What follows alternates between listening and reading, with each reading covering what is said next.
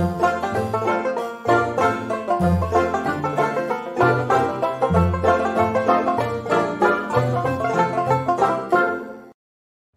lagi bersama saya dengan Kak Joko. Nah, di video kali ini kita akan membahas topik tentang gerak dilempar mendatar atau kita singkat dengan GDM ya. Perkenalkan nama kakak itu adalah Kak Joko Harepa ya.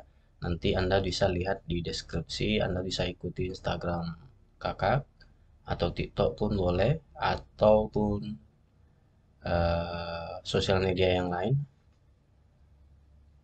yaitu uh, Facebook dan sebagainya. Oh, bukan sebagainya ya. Saya hanya punya sosial media itu aja sih. Oke. Jadi uh, topik kita hari ini adalah gerak dilempar mendatar. Jadi uh, gerak dilempar mendatar itu nanti seperti apa sih ilustrasinya? Oke, coba kita cek langsung ya. Jadi nanti gerak dilempar mendatar itu adalah gerak yang lintasannya nanti adalah seperempat eh, parabola ataupun lingkaran ya.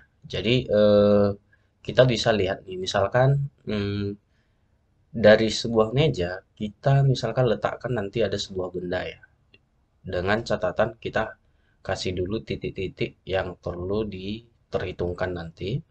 Nah, misalkan ada sebuah bola, kita lempar mendatar nih kita lemparnya menuju ke sini. Nah, jadi nanti berapa sih eh, jarak yang ditempuh nanti dari A ke C, ya kan? Atau berapa sih ketinggian dari A ke B? Apakah bisa kita hitung atau tidak? Tentu bisa, ya. Oke. Jadi eh, selanjutnya, misalkan sebuah benda ini memiliki kecepatan V0 searah mendatar ya.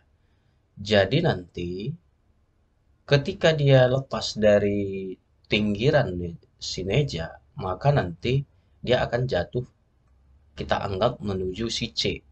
Nah, jadi nanti lintasannya itu berbentuk seperempat parabola ya. Oke, nah dengan mengetahui ketinggian misalkan atau titik A dan D itu adalah H, dan kita misalkan lagi nih, titik jarak titik B ke C itu adalah X, maka ini nanti bisa kita hitung beberapa besaran. Yang pertama itu adalah waktu dari titik A ke C atau dari A ke B. Nah, waktu dari titik A ke C atau dari A ke B itu sama aja dengan gini. Sebenarnya, searah mendatar dia mempunyai kecepatan V0x gitu ya. Kecepatan searah sumbu X. Nah berarti kecepatan searah sumbu Y dia nanti nol.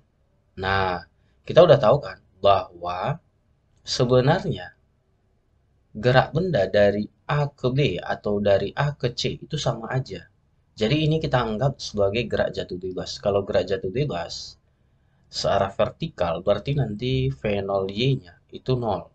Nah, jika kita gunakan misalkan untuk mencari berapa sih waktu yang dibutuhkan dari A ke C, maka kita gunakan rumus yang ketiga, yaitu H, gerak jatuh bebas ya. V0Y dikali T ditambah setengah GT kuadrat. Nah, kita sudah tahu bahwa V0Y adalah 0. Maka ini bisa kita tulis jadi, ini jadi 0 ya. Ini jadi setengah G T kuadrat. Nah, jadi mencari T nanti tinggal dari sini aja. Kita buat T sama dengan 2H per G. Tapi ini kuadrat ya. Jadi T sama dengan akar 2H per G. Nah, begitu kira-kira. Makanya, kita memperoleh eh, T-nya akar dari 2H per G gitu ya di mana nanti H itu adalah jarak antar titik A ke B ataupun tinggi sebuah meja. Kemudian, yang kedua yang sering ditanya adalah jarak titik B ke titik C atau jarak mendatarnya. Nah, ini kita hanya gunakan gerak GLB doang. Jadi nanti eh, GLB rumusnya apa? V sama dengan S per T. Maka kalau kita mencari uh, S-nya kita tinggal kalikan doang nih. V kali T gitu. Nah, mencari T dari mana? Dari sini. Gitu ya. Nah, jadi sebenarnya sangat gampang untuk menentukan jarak antar titik D ke titik C gitu doang. Jadi eh, gerak dilemparkan datar nanti ini cara cepatnya saja kakak buat. Sebenarnya penjelasannya udah kakak jelaskan ya.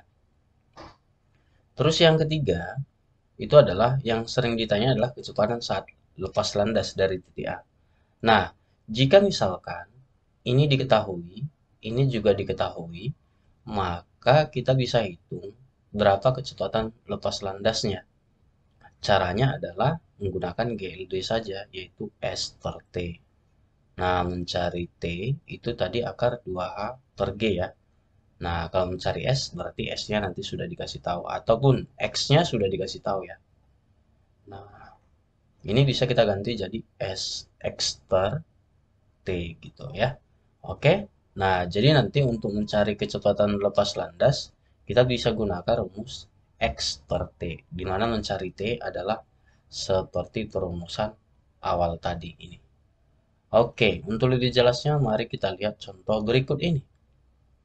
Nah, tapi sebelumnya kita harus ingat bahwa nanti keterangannya di sini adalah H sebagai tinggi benda, satuannya meter, V adalah kecepatan, meter per second, dan T adalah waktu second. X adalah jarak mendatar, satuannya meter ya. G adalah percepatan gravitasi. Nah, percepatan gravitasi itu kalau di dalam soal tidak disebutkan, maka tuliskan saja 10 meter per sekon kuadrat. Tetapi ada beberapa soal dia nanti menuliskan langsung 9,8 meter per sekon kuadrat. Maka yang 9,8 yang kita gunakan. Tapi kalau tidak disebutkan langsung saja buat 10 untuk memudahkan perhitungan. Oke. Nah, untuk contoh soal pertama. Katanya begini nih. Sebuah bola menggelinding di atas meja dengan kecepatan 2 meter per second menuju pinggiran meja. Jika kecepatan meja diukur dari lantai adalah jika tinggi meja diukur dari lantai adalah 80 cm, maka bola sampai ke lantai setelah. Nah, di sini diketahui apa? Yang diketahui adalah tinggi sebuah meja ya. Dikasih tahu di sini adalah hanya itu adalah 80 cm. Ini harus kita ubah ke meter. Berarti 0,8 meter ya. Karena senti ke meter itu dibagi 100. Kemudian G karena tidak disebutkan, oh disebutkan ya. Berarti buat aja 10 meter per second kuadrat. Yang ditanya itu adalah berapa T-nya. Nah, kita gunakan aja rumus yang pertama tadi, bahwa T sama dengan akar dari 2H per G. Nah, ini langsung aja kalikan. 2 kali berapa? 0,8 per 10. Nah, ini kan 1,6 nih. Per berapa? Per 10. Berarti hasilnya itu nanti 0,16. Jadi kalau kita akarkan, dia nanti dapat 0,4 second gitu. Jadi jawabannya adalah 0,4 second. Jadi jawaban yang paling tepat itu adalah C gitu ya. Oke. Nah, kemudian kita lanjut ke soal nomor 2 nih. Nah, ke soal nomor 2, dia nanti bagaimana? Nah, nah soal nomor 2 begini nih. Katanya sebuah peluru ditembakkan dari puncak sebuah menara yang tingginya berapa? 500 meter dengan kecepatan 100 meter per second dan arah mendatar ya. Apabila G 10 meter per second kuadrat, maka peluru akan menyentuh tanah jika dihitung dari kaki menara adalah pada jarak berapa. Nah, di sini yang diketahui yang pertama itu adalah e, hanya adalah 500 meter. Kemudian kecepatan mendatarnya itu adalah 100 meter per second. G-nya berapa nih? 10 meter per second kuadrat.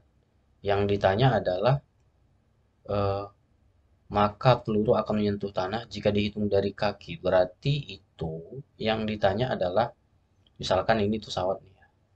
kita buat aja nih pesawat dia menjatuhkan paket nih nah jadi nanti dihitung dari ini bukan pesawat ya tapi sebuah menara katanya ditembakkan peluru dari sini. Nah nanti yang dihitung jaraknya adalah dari kaki ke sebuah titik ketika dia jatuh nanti. Berarti X ya. Nah jadi mencari nilai X itu langsung saja kita buat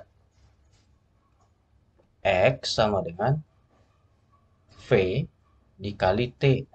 Nah, T-nya cari dulu nih. Berarti 2H per G. Berarti V kali berapa nih? 2 kali 500 per 10. Berarti ini tinggal keluarkan aja angkanya. Berarti ini 100 kali berapa nih? 2 kali 50 ya. Kenapa? Karena 500 dibagi 10 kan 50. Jadi nanti nih 100 kali akar 100. Nah, akar 100 berapa? 10. Maka kita peroleh jaraknya itu adalah 1000 meter. Gitu. Jadi jawaban yang paling tepat adalah E ya. Kita lanjut lagi ke soal nomor 2 nih. Nah, 2 atau 3? 3 dong ya. Oke. Contoh yang ketiga. Jadi contoh yang ketiga dia katanya begini. Uh, sebuah benda dijatuhkan dari pesawat terbang yang sedang melaju dengan kecepatan berapa? 720 km per jam ya dari ketinggian 500 meter. Bila G sama dengan 10 meter per sekon kuadrat, maka benda akan jatuh pada jarak horizontal berapa? Nah, tetap aja yang ditanya adalah si X. Berarti yang dikasih tahu di sini adalah V-nya berapa? 720 km per jam. Ini harus kita ubah dulu menjadi meter per second, yaitu 720 kali berapa? Kali 10 per 36 per meter per second. Gitu. Jadi ini tinggal kita matikan.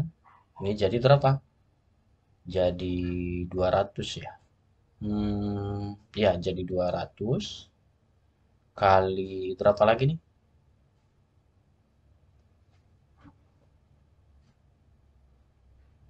Bukan 200 ya? Tapi berapa? Ya 200 ya. Jadi nanti ini adalah 200 meter per second ya. Terus di sini yang ditanya itu adalah si X. Nah si X itu rumusnya nanti V0 dikali T. Nah, ini bisa kita cari lagi si T-nya menggunakan rumus seperti ini. Nah, V-nya tadi berapa? 200 kali akar 2 kali 500 per 10 ya. Nah, ini matikan. Di mana nanti eh, hanya di sini, ini adalah 500 meter. Sedangkan G sudah ditulis tadi bahwa e, eh, 10 meter per second kuadrat. Jadi untuk mencari nilai X langsung saja 200 kali akar dari 100. Nah 200 kali 10 berarti hasilnya adalah 200 200 atau 2000 2000 2000 meter. Jadi jawabannya adalah C ya 2000 meter. Begitu kira-kira. Jadi e, sebenarnya ini gerak dilempar mendatar sangat gampang. Jadi sebagai latihan untuk eh, teman-teman sekalian, nanti Anda bisa kerjakan soal latihan. Nanti saya berikan ini ada dua soal nih. Nah, kalau Anda sudah dapat, Anda bisa tuliskan jawaban Anda di kolom komentar. Nah, soal nomor satu dia seperti ini. Sebuah mobil mainan bergerak mendatar di atas meja menuju salah satu sisi meja. Jika ketinggian meja 20 cm dan G 10 meter per sekon kuadrat, maka mobil mainan akan sampai ke dasar meja setelah berapa ya? Oke, nah Anda nanti bisa hitung dan Anda bisa langsung eh, tuliskan jawaban Anda, Anda di kolom komentar. Soal yang kedua itu adalah sebuah pesawat tempur bergerak dengan kecepatan 720 km per jam menjatuhkan sebuah paket dari ketinggian tertentu. Paket sampai di dasar setelah 10 sekon. Bila G 10 meter per sekon kuadrat, maka ketinggian pesawat sebelumnya berapa? Jadi ini yang ditanya ketinggian. Oke? Nah, jika Anda sudah dapat nanti, Anda bisa tuliskan jawaban Anda di kolom komentar. Sampai jumpa di pertemuan berikutnya. See you.